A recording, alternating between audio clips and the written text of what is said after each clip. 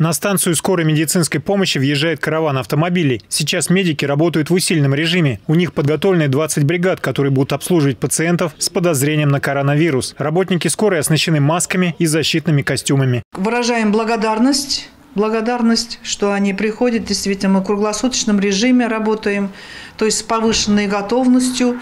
Также я считаю, что они относятся с пониманием. Далее караван машины отправляется на блокпост номер два. Он находится в районе Меловых горок. Ежедневно полицейские проверяют порядка 400 автомобилей. Первое время было множество недопониманий от водителей, но сейчас люди привыкли к введенным ограничениям. Все условия для нашей деятельности, служебной деятельности созданы.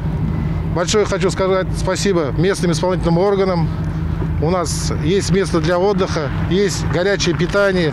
Также на сегодня хочу сказать большое спасибо Западно-Казахстанскому аграрно-техническому университету имени Жангирхана, которые изъявили желание безвозмездно обеспечить блокпосты наши, личный состав, который задействован на этих блокпостах, горячим питанием. На блокпосту дежурит 12 человек. Они меняются через 12 часов. Сотрудники специальных служб раньше приносили свою еду. Горячий обед пришелся кстати. Вот это стандартный обед, который сегодня привезли на блокпост.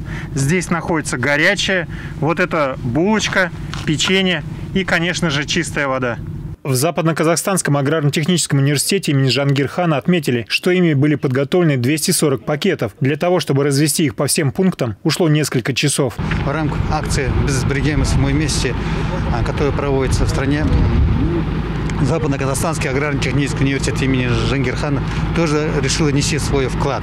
Это организация горячего питания, а, питания э, обеда, который приготовлен комбинатом студенческого питания «Олимпус».